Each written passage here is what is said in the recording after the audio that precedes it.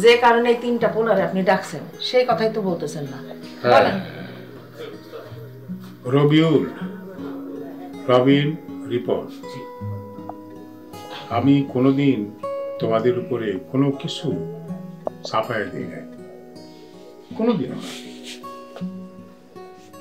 সবসময় অত্যন্ত স্নেহে তোমাদেরকে মানুষ করছি। আজও তোমাদের ভালোবাসা কোনো কিছুই কমতি হবে না। কিন্তু একটা কথা বারবার আমার মাথায় আসতেছে। সেই কথাটা হলো কি?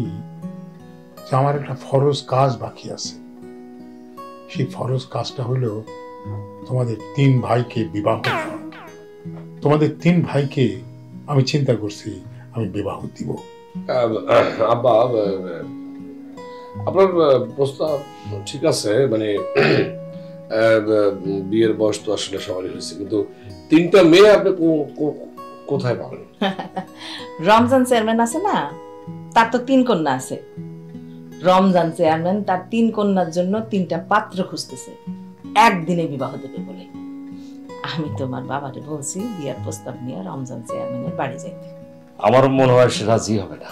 আরে সে রাজি হবে কি হবে না সেটা আমার উপরে ছাইরা দাও।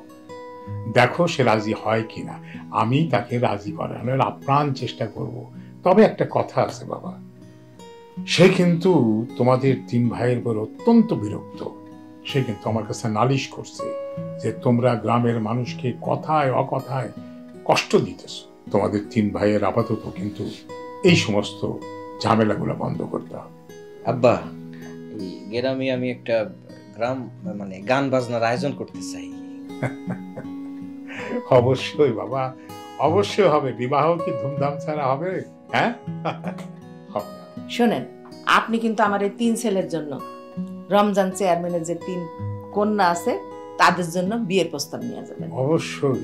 আমিও তো সেটা নিয়ত করছি। আজকেই নিয়ে যাবেন আচ্ছা যাব ইনশাল্লাহ না সবই ঠিক আছে কিন্তু আমার একটা প্রশ্ন আপনার সাথে ওরা আমার ছোট ভাই ওরা আমার ভাইরা হবে কি আমি বলতেছি যে বড় ভাই সে আবার বাইরে হওয়ার দরকারটা কি?